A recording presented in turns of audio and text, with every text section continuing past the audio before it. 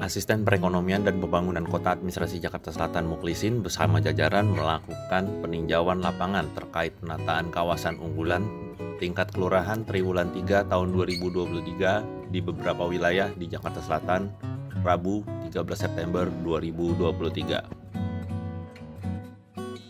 Pada kesempatan tersebut, Muklisin meninjau penataan kawasan di tiga kecamatan yakni Kecamatan Tebet di Kelurahan Bukit Duri, dan Kecamatan Setiabudi di Kelurahan Menteng Atas, serta Kecamatan Kebayoran Baru di Kelurahan Rawa Barat.